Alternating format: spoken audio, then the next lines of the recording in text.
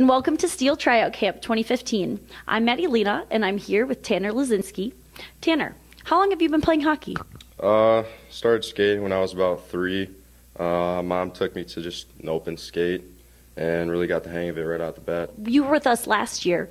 What's it like playing in the USHL, and what do you like about it?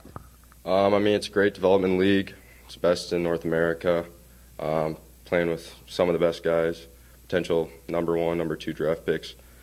Um, but just get you ready for the next level and just get you a bigger, better player.